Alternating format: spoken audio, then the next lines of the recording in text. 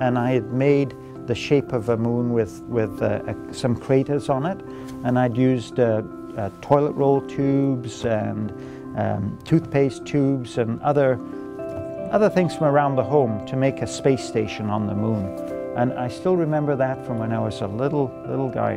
Tell me, what, uh, what have you worked on as, as far as projects? And, and do you like doing projects? So let's start. Here, well, in school, I did a French project.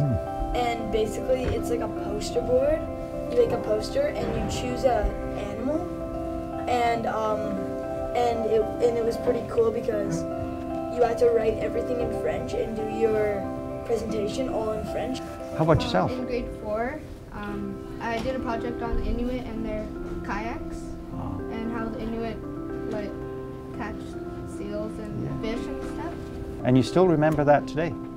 That's excellent. I still have the poster too. Do you? Yeah. Okay, Very good. We're making uh, like a house made out of wood, Oh, and we're gonna put it in our front yard and put Christmas lights on it. oh, that is very, very good. Yeah, yeah. So you just you're making a, a pretend house, and uh, will you have some Christmas lights on it? Yeah. Well, hopefully we're on holiday when that happens. Yeah, yeah. Well, um, just what Max said earlier, I also do enjoy woodworking, you do, yeah. And I would work with my grandpa. Oh. He yeah. has uh, turned his entire uh, garage into a workshop.